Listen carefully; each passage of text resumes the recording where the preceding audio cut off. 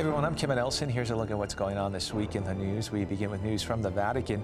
The Vatican has announced that Pope Francis will be visiting the United Arab Emirates in February of 2019. The Vatican said the Pope will participate in the International Interfaith Meeting on Human Fraternity after receiving an invitation by the Crown Prince of Abu Dhabi. The Vatican published this press release announcing a papal trip to Abu Dhabi on February 3rd through the 5th, 2019. Pope Francis plans on participating in the International Interfaith Meeting on Human Fraternity. The visit is in response to an invitation by the Catholic Church and the Crown Prince of Abu Dhabi, Mohammed bin Zayed, the Deputy Supreme Commander of the UAE Armed Forces. He visited the Pope in 2016 at the Vatican. The theme of the trip has been chosen as Make Me a Channel of Your Peace after St. Francis of Assisi. The goal is for Pope Francis's visit to spread the peace of God within the hearts of all people. He will continue interreligious dialogue like he did during his visit to Egypt in April 2017. Additionally, the logo represents the colors of both the Vatican's and United Arab Emirates' flag. The white and yellow is for the Holy See, and the red, green, and black represents the UAE. The olive branch in its mouth is the symbol of the country as a herald of peace. A majority Muslim population, around 10% of the citizens of the UAE are Catholics. In 2007, they entered into full diplomatic relations with the Vatican. Pope Francis will be the first pope to visit this country. The February 3rd through the 5th trip will take place less than a week after Pope Francis returns from his January 23rd through 28th visit to Panama for World Youth Day.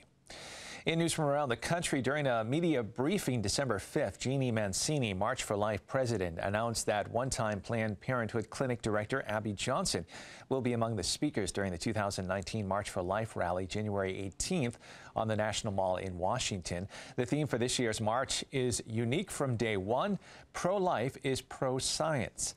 Mancini said this year's events will focus on the scientific discoveries that have led to new understanding about life in the womb.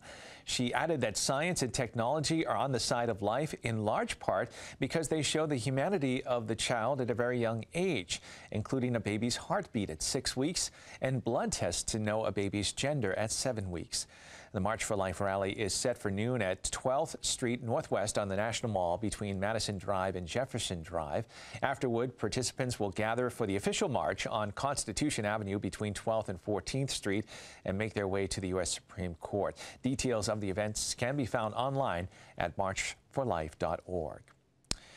In news from Rome, the scientific community still reeling uh, over the recent revelation that a Chinese scientist reportedly altered the DNA of two twin babies. Rome Reports talked with the scientific director of the Pope's Hospital in Rome about the repercussions of this type of procedure. The scientific community was shocked when Chinese scientist He Jiankui reported that he had altered the DNA of two twin babies to prevent them from carrying the AIDS virus. Most scientists have labeled this experiment excessive, and it has triggered a great ethical debate. Bruno Dallapiccola is a geneticist, and since 2010, he has been the scientific director of the Bambino Gesù Hospital, known as the Pope's Hospital. He explains that this will have consequences.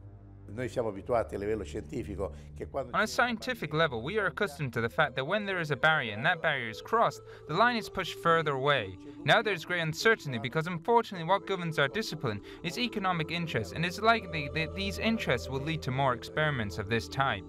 Technique used to do this experiment with embryos is called CRISPR. This cuts out part of the DNA and is reinserted again when it is genetically modified.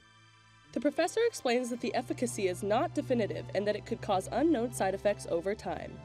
il problema è che queste forbici tagliano The problem with these scissors is that they cut DNA from tens or hundreds of different parts of the genome. Each cut made in the genome can cause mutations or alterations in the DNA structure or function. Embryos have become a something and not a someone. The latter is the way we believe that they should be considered. World legislation, even in China, prohibits the genetic alteration of an embryo. This is because it impedes the natural development of the genome, which should remain unaltered. Bruno Dallapiccola explains that the ambition to discover the most advanced techniques causes scientific researchers to lose their humility. dal punto di vista pratico, quindi pensare che From a practical point of view, it is a fantasy to think that if I modify a part of genome, I will create the perfect individual or a person free of problems. Unfortunately, today research lacks humility. There is a term that is used a lot in genetics, and it is playing God. We researchers must realize that we are not God and come back down to earth. And finally, in the news, at an ecumenical service in Westminster Abbey to celebrate the contribution of Christians in the Middle East, Prince Charles of Wales spoke of how he was deeply moved by the testimony of Iraqi sister Luma Khudher, at uh, a Dominican sister of St. Catherine of Siena. The prince told the more than 1,000 people gathered for the service how in 2014, as extremists advanced on the Christian town of Karakush, Sister Luma got behind the wheel of a minibus full of her fellow Christians and drove the long and dangerous road to safety. Like the 100,000 other Christians who were forced from the Nineveh plains that year, they left behind the ruins of their homes, churches, and communities. Prince Charles said Sister Luma told him movingly of her return to Nineveh with her fellow sisters three years later and of their despair, at the utter destruction they found there. But like so many others, he said they put their faith in God, and today the tide has turned. Nearly half of those displaced have gone back to rebuild their homes and their communities. The prince said he was deeply humbled meeting Sister Luma and all Christians who face persecution endure and overcome, saying that theirs is an act of supreme courage, of a refusal to be defined by the sin against you, of determination that love will triumph over hate. In his address, Prince Charles also expressed his hope that Christians and Muslims will again live together in peace, saying that throughout history they have shown that it is possible to live side by side as neighbors and friends. Well, that is all the information we have for you this time. I'm Kevin Nelson. Don't forget, you can keep up to date on Catholic news throughout the week with Catholic News Break right here on the Catholic TV network.